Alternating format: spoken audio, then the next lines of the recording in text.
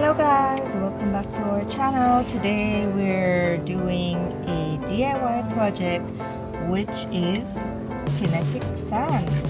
Alright, so let's get into the project. So what we have here in the bowl is half tablespoon of cornstarch and then we have here cup of sand.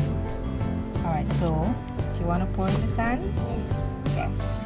Alright, so let's pour in the sand. Oh, okay. Just a little bit of the water, please. That's that's some water mixed with with um dish dish soap. Oh. It's um one teaspoon of dish soap, Oh. and we have one cup of water. I But I do don't I think we're gonna use the whole cup of water. We're just going to put it in gradually Uh, until it forms into the kinetic sand. Okay guys, so here we have the end product and we ended up using about three cups of sand.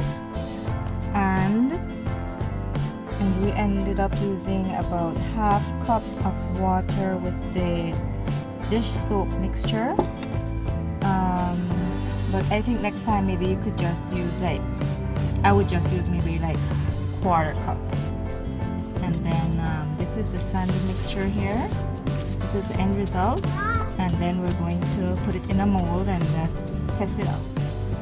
Okay guys so we put the sand mixture in the in the mold and now we're gonna just scoop it out to make sure to see if it forms it well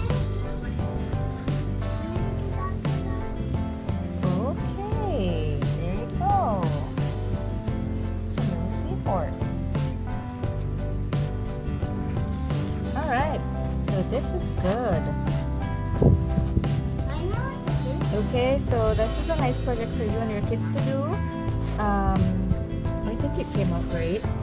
Um, I've heard some people say that um, they left it in containers and then, um, you know, if, if it gets dried out, then you can always add in a little bit of water to just get it wet again. So, hope you guys enjoyed this video and please give us a like, thumbs up our videos, and um, please subscribe.